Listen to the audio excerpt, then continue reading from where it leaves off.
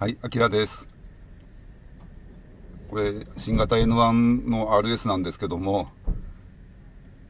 アームレストをつけてみたっていうところでね、まあ自分の動画の中では結構反響があって、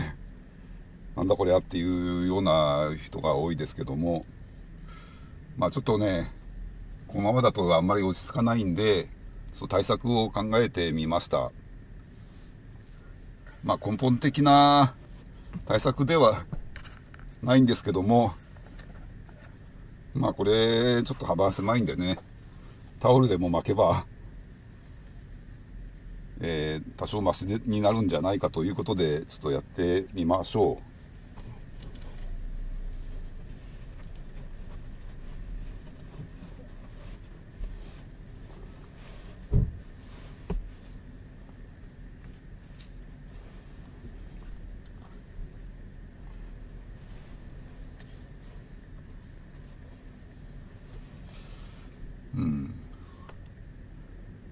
まあ根本的な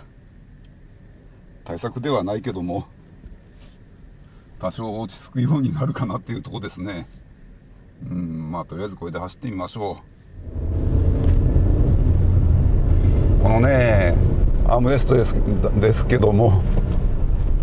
まあいくらなんでも幅狭いんでね、まあウレタンのクッションでも巻けばなんかいい感じになるのかなと思って、まあ、ホームセンターに行ったんだけどもなかなかちょうどいい感じのやつはなくてね。なんかパイプとかに巻くウレタンの、えーカバーみたいのがあったんだけどもなかなかねこういう黒い色のやつがなくてね。まあまあサイズ的にもどうなのかちょっとよく分かんないんだけども。だったらまあタオルでも巻いとけばいいかなと。いう感じで、まあ、黒いタオルがあったんで、まあ、タオルつってもこれちょっと薄手なんでね、まあ、そんなに、まあ、ぶっとい感じにはなんないけども、まあ多少は落ち着くかな。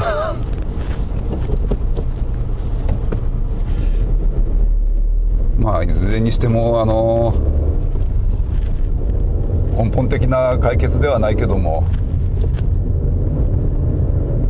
まあこんな工夫してればね多少はまあ楽な感じに落ちなるかなっていうとこですね。ああそっか。これなんかウレタンのクッションの上にこのタオルを巻けばねそんなに違和感ないのかね。まあそのままでもね別にそんなに困るってことでもないから。まあこれでもいいかね。うん。まああんまりなんかね大行なものをつけるのも変なんで。まあ私ね車のシートだとかねこの人間工学の都合でどうしてこういう薄いアームレストになってるのかっていうのはねちょっとよくわかんないんだけどね。まあおそらくこれ人間工学だとかね。その操作性とかの都合じゃなくて、メまあ、メーカーのたまたまそのメーカーが持ってるアームレストがこれしかなかったとかねなんかそんなような都合なんじゃないのないのかなっていう気がしないでもないけどね。これもともと旧型の N-ONE なんかねあのベンチシートのやつでシートの隙間いっぱいのね右と左のシートの隙間いっぱいのすごいぶっとい分厚いアームレストがついてたぐらいだからね。こんな薄いやつにする必然性なんか全然ないような気がするんだけどね。以前に乗ってたトゥデイはねセンターコンソールが、まあ、ちっちゃいのがついててまあああのカップホルダー兼アームレストみたいな感じでまあそれも、まあ短いって言ったら短かったけどね、あのトゥデイはこのサイドブレーキがこう手で引くタイプだったから、それより後ろにあったからね、こっちにしろ長いやつはつけられなかったみたいで、えらい短いやつだったからね、まあそれでも、まあ結構役に立ってたからな。まあ、これもこの辺真ん中何もないからね。あのセンターコンソールのボックスみたいのにすればいいのかなとは思うけども。ただあんまりなんかでっかいこれだとねシートが高いからあんまりでっかいボックスだとなんか邪魔くさいのかね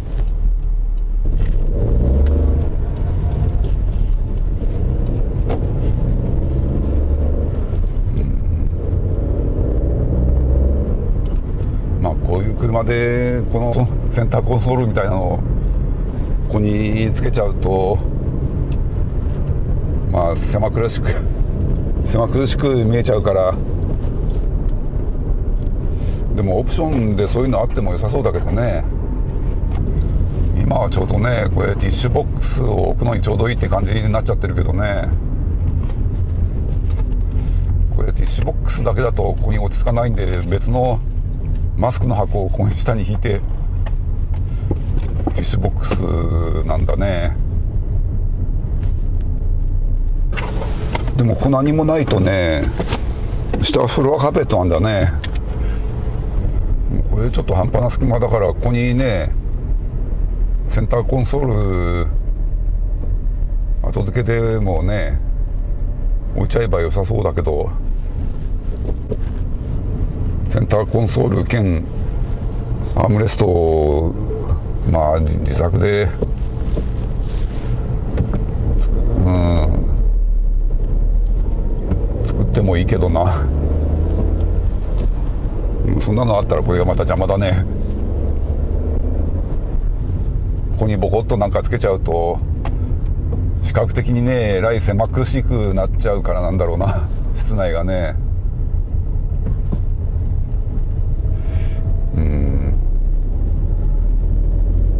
ね旧型の N1 だとねこここの出っ張りもなかったからね。でベンチシートだったからえらい前がね広々と見えたんだね。まあそれに比べるとこういうね真ん中にボコッと出てるからその上にここにコンソールつけちゃうとまあ